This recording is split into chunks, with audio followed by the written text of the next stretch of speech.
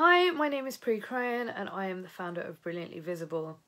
I help small creative businesses to become more visible in Google and maximize their organic potential by creating really simple and easy to implement SEO strategies that can be done in 30 minutes or less. I also work full time as an SEO in the city and spend quite a few hours commuting in and out of London.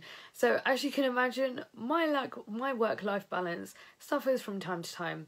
So today I wanted to talk to you about three things that I've done in my own business to make sure that I can spend more time with my friends, my family, and just enjoy not working all the time.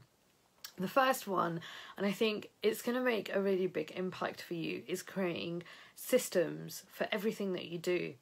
What you want to do is you want to write a long list of everything that you do on multiple occasions. This could be things like client invoicing, blogging, um, taking images for your portfolio. Hey, it could even be SEO. But ideally, write everything down, write down every single step that you do in that process, and try and streamline it as much as possible.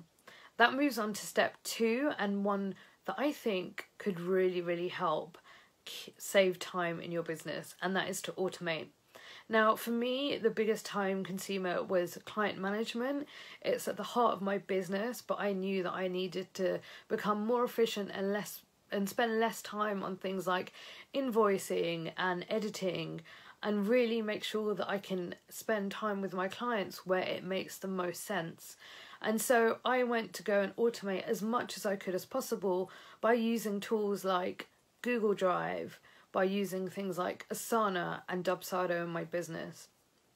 So if there's certain things that you want to go ahead and try and streamline, definitely have a look into automation and how you can really make the most out of the limited time you have in your schedule.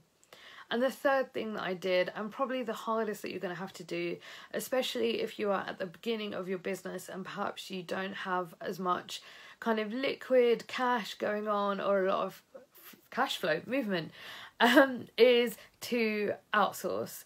It's something I really put off for a, quite a long time, but bringing on a VA really helped to take some of the tiny things that I didn't need to do in my business.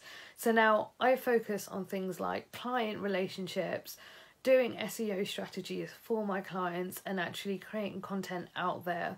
So, those are the three things that really helped me manage my work life balance, and I hope they make sense to you. I'd love to connect with you online, so please do come find me. Bye for now.